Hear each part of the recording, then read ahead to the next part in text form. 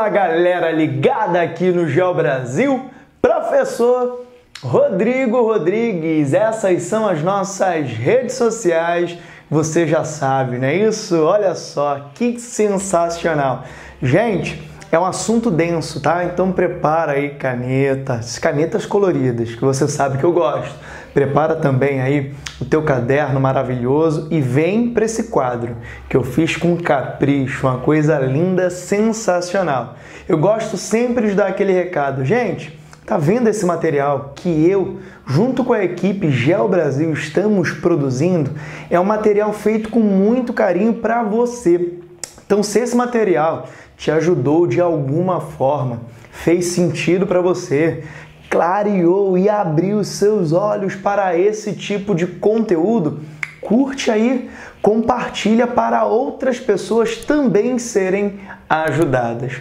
O Geo Brasil está aqui para isso, para te ajudar através da educação, tá? Então conta comigo, fala o que você achou aqui, manda o teu comentário, fala o que você achou desse vídeo. Lembrando que na descrição do vídeo nós temos a plataforma de ensino, grupo no Telegram, clica lá e vem participar do grupo de estudos no Telegram para você ter acesso a diversos conteúdos diariamente, tá? Sobre ensino, aprendizagem, enfim, o assunto de hoje é um assunto que eu gosto muito, ele é denso, mas eu vou conseguir de fato simplificar para você. Produção, eu chego para cá, você sabe, né? Tá rindo ali.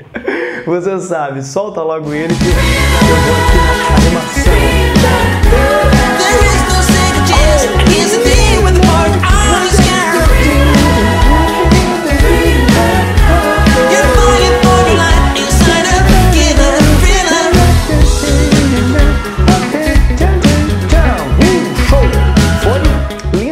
Bonito, né? Pegou esse quadro? Quadro maravilhoso, deu tempo de copiar? Gente, professor Rodrigo Rodrigues e vamos ao que interessa. Olha só, com calma e tranquilidade, tá? Tem algumas canetas aqui no meu bolso que eu vou utilizar e você vai verificar. Vamos analisar os movimentos das placas tectônicas. Mas antes, eu quero que você entenda que a placa tectônica é um grande bloco de rocha simplificando, que estaria boiando, flutuando em cima do magma. E lembra que o magma realiza o um movimento convectivo, saindo ali ó, de contato com o núcleo, que é a área mais quente, subindo, tá? Numa área menos quente, ele vai ficar mais denso, pesado e vai ó, mergulhar de novo. Esse movimento aqui que eu desenhei para você é o movimento, anota, movimento convectivo do magma. A produção coloca aqui, ó, movimento convectivo do magma. Show? Obrigado, pode tirar. Até aí tranquilo, show. Então, a partir dessa dinâmica, você tem que entender que a placa tectônica irá realizar dois movimentos. Para começar, vou caracterizar em movimento horizontal ou movimento verticalizado. Até aí, tranquilo? Tá mole? Tá fácil? Show! Continua. O movimento horizontal iremos chamar de movimentos de orogênese ou orogenéticos, tranquilo? E o movimento vertical, epirogênese, tá? Bom, quero detalhar aqui um desenhozinho. Se liga na maldade, olha para cá. Movimento vertical, então, é assim, tá? Tô dando um exemplo, daqui a pouco vou falar dos outros.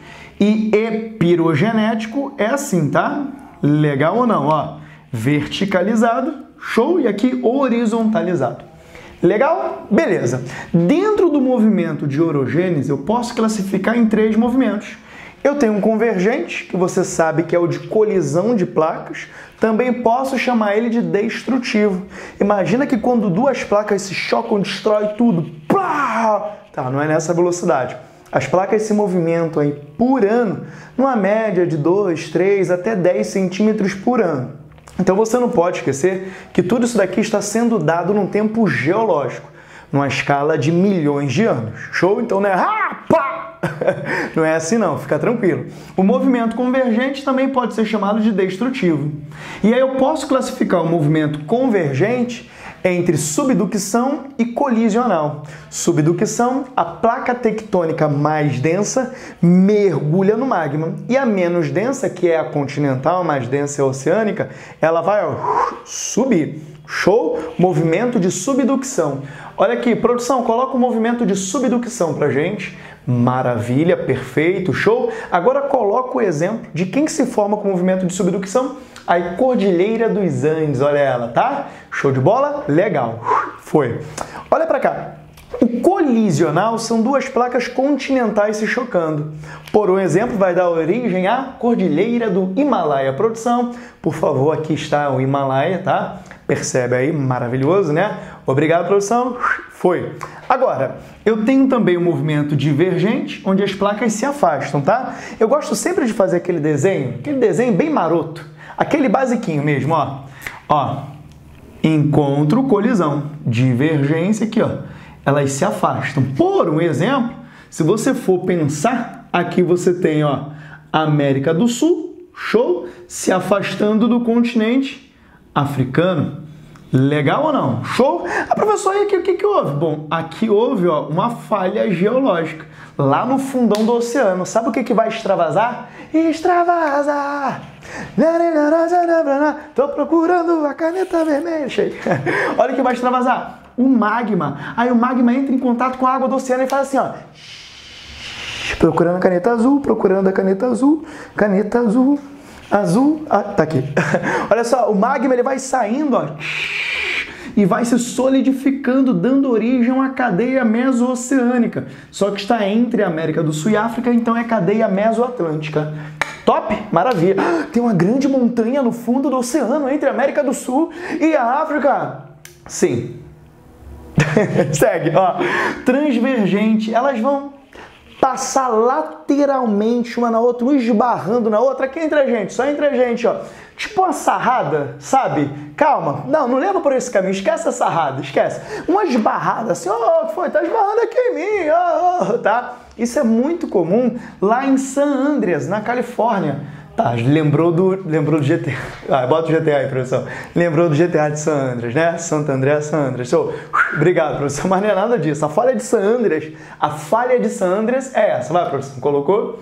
Maravilha, essa é a falha de Sanders, tá? Então a placa do Pacífico ela vai na direção oposta e contrária à placa norte-americana. Maravilha? Show? Eu vou provocar um rift. Deixa eu colocar aqui para você, ó. Um rift. Coloquei já na imagem um rift. Show? Mole, você já sabe disso. Agora eu quero detalhar esse. Movimento vertical e pirogênese. Você pode ter um movimento positivo quando você tem o soerguimento da superfície. O ponto B e o ponto A fizeram um movimento positivo de epirogênese, soerguimento. Olha aqui, ó. Eu também posso ter epirogênese fazendo um movimento negativo, que é de rebaixamento. Então, o ponto C fez um rebaixamento. Vou botar aqui também, ó. O ponto C, rebaixamento. Não, não vou botar não, senão confunde. Gostei assim, tá? O ponto C, rebaixamento. E o ponto B e A fizeram um soerguimento. Show? Esse movimento aqui, gente, é devido à acomodação tá? da nossa crosta terrestre. Então observa, lembra que são movimentos em tempo geológico. Imagina que você está deitado no teu colchão, para você entender isso, imagina que você está deitado lá no teu colchão e você, digamos que você pesa bem pouquinho, você é bem magrinho, tá? Aí você deitou aqui no colchão. E aí vem um amigo seu, uma amiga, sei lá, seu pai, alguém muito querido que vai deitar do teu lado, imagina que essa pessoa é um pouquinho mais pesada, um pouquinho mais densa, tá?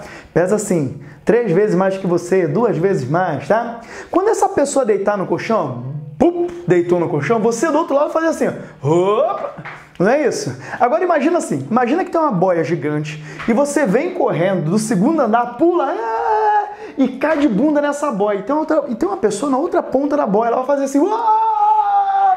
Produção, coloca mais ou menos uma imagem assim, ó. Olha o pulão que você deu, caiu na boia e a pessoa voando, tá? É exatamente isso que vai ocorrendo na epirogênese. A epirogênese é um movimento bem mais lento que o movimento de orogênese, tá? E esse é um movimento mais recente, esse é um movimento mais antigo. Então é um movimento bem lento. Imagina que nós passamos por uma era glacial, tudo congelou, o gelo fez peso e a superfície, ó, up, e a outra parte da superfície, ó, up, tá? Então nós estamos sempre tentando acomodar. Só que lembra que é um movimento muito lento. Bom, esse movimento positivo, fazendo soerguimento, vai dar origem ao que você chama de ROST. Legal ou não? E quando ocorre epirogênese negativa, vai dar origem a um rebaixamento. Você vai chamar isso daqui de Graben, tá? Nome feião, Rodrigo, é mais facinho de você entender, tá? Rost é o ponto A e B e o Graben é um ponto C. Tranquilidade? Vou dar um exemplo para a gente fechar lindo de bonito.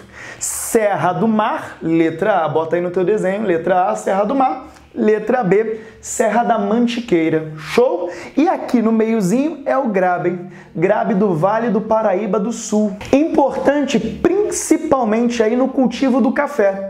E aí você pode pensar no Brasil no século XIX, tá? Início ali do século XX, no Vale do Paraíba, tá? Interior ali de São Paulo, com Rio de Janeiro. Até aí tranquilo? Gente, é isso. Facilitou? Esclareceu a sua dúvida? Entendeu o que é um Graben? Entendeu o que é um Host? Show de bola. Meta concluída. Eu tenho certeza que depois dessa aula você vai tirar onda, tá? Respira, produção. Vai, solta a música da aprendizagem